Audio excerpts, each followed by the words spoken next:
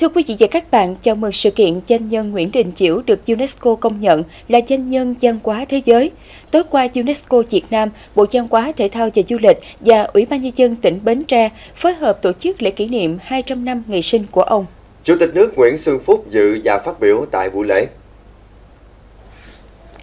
Trong cả cuộc đời 66 năm, danh nhân Nguyễn Đình Chiểu sống bằng nghề dạy học, nghề thầy thuốc và sáng tác văn chương. Gần 200 năm qua, người dân Bến Tre luôn xác định ông là biểu tượng của vùng đất ba dãy Cù Lao.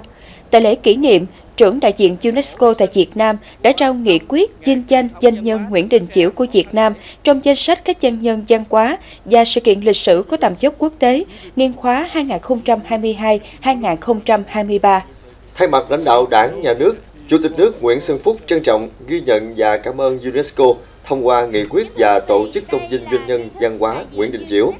Đây là niềm tự hào vinh dự của cả dân tộc Việt Nam, có phần tôn vinh những giá trị và ý nghĩa nhân văn cao đẹp, trường tồn của tư tưởng nhân cách Nguyễn Đình Chiểu, cũng chính là tôn vinh nét đẹp trong tâm hồn trí tuệ, nhân văn, bác ái của người Việt Nam.